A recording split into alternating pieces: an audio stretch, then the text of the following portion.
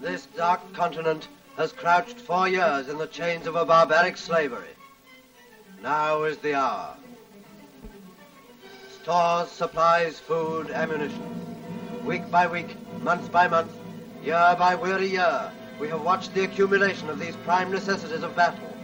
But after four years to the very month since we were hurled off the continent of Europe, we have enough to go back for the final showdown.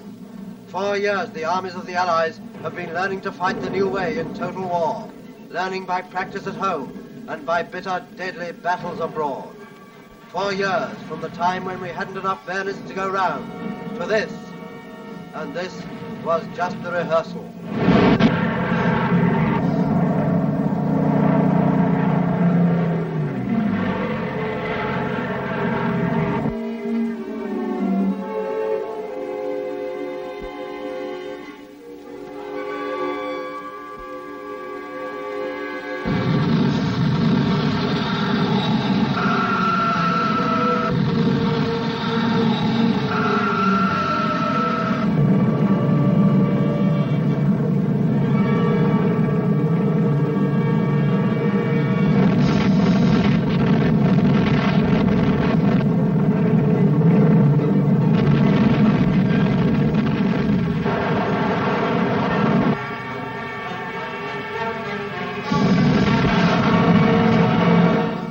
We learned to hit back with the very weapon with which Hitler had hoped to dominate the world.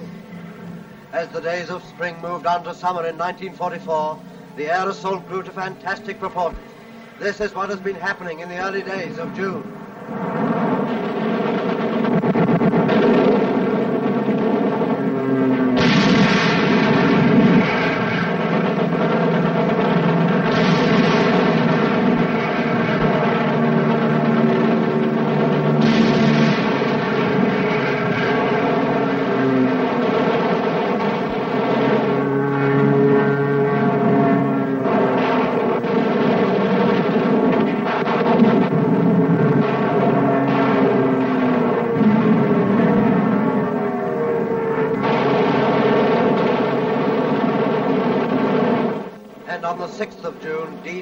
Announced to have begun. A communique from Supreme Headquarters. Under the command of General Eisenhower, Allied naval forces, supported by strong air forces, began landing Allied armies this morning on the northern coast of France.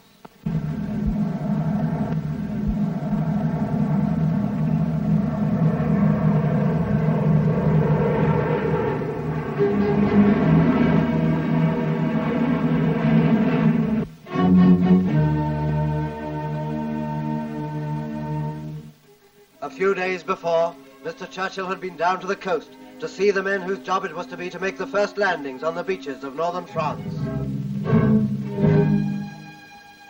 Admiral Ramsay, the Allied naval commander-in-chief, is responsible for carrying the troops across the channel.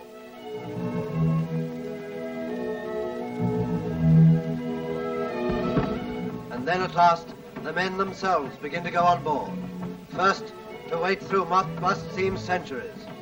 Then to begin the greatest invasion in all the blood-stained history of war. How wonderful they look.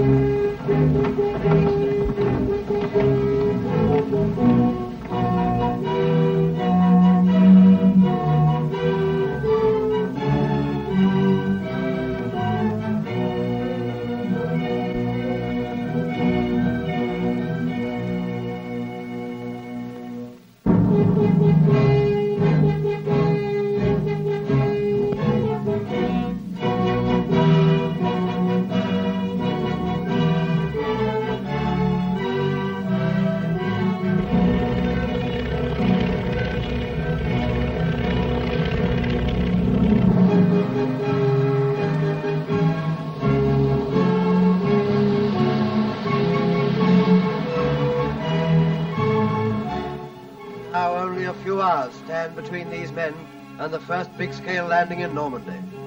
These are paratroopers of the 9th Air Force, about to get aboard their big troop-carrying planes.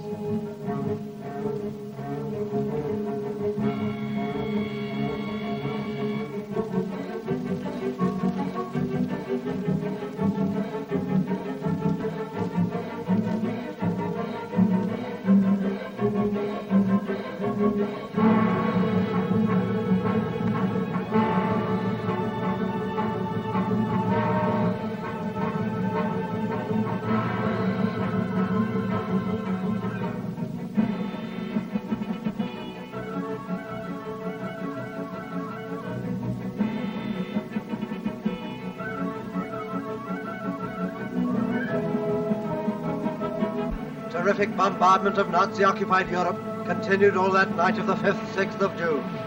These are a few of the marauders going ahead to blast the coastal defenses and defenders. Down below is the island of Alderney. D-Day will bring a message of hope to these tragic Channel Isles with the first rays of dawn light.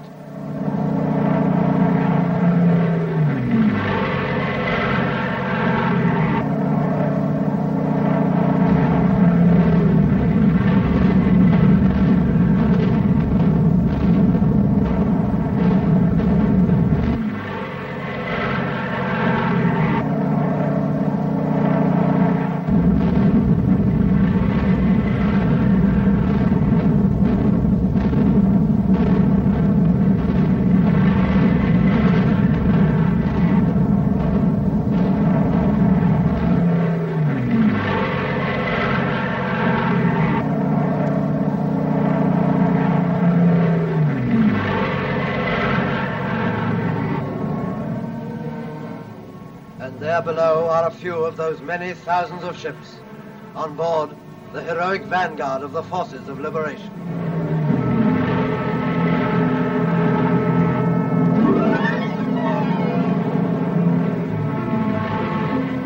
In this tremendous hour, we shall not rejoice too soon. Instead, let us pray for the success of our arms. Let us pray for the safety of our men. Let us pray for the skill, the determination, and the wisdom of our leaders. Let us pray for swift and lasting victory.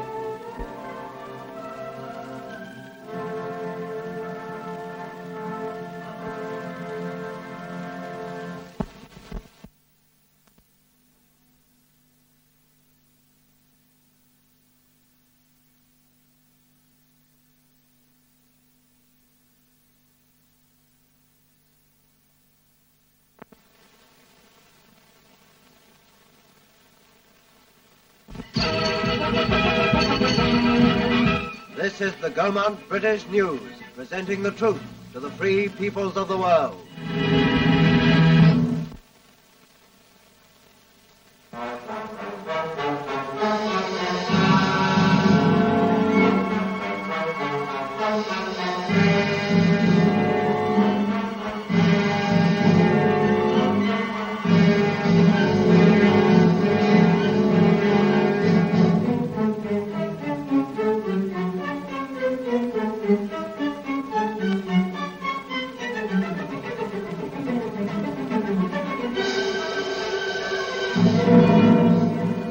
Second installment of the newsreel record of the invasion of Western Europe.